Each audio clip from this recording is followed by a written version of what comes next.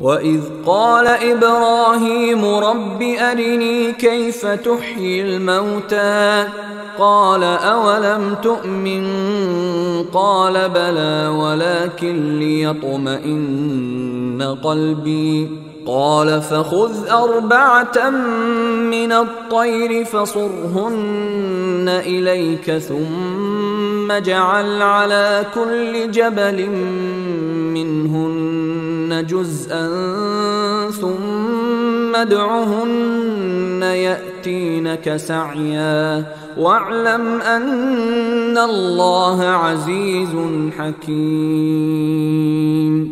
مثل الذين ينفقون أموالهم في سبيل الله كمثل حبة أنبتت سبع سنابل في كل سنبلة مئة حبة. والله يضاعف لمن يشاء. والله واسع عليم. الذين ينفقون أموالهم في سبيل الله ثم لا يتبعون ما أنفقوا منا اذى لهم أجرهم عند ربهم ولا خوف عليهم ولا هم يحزنون.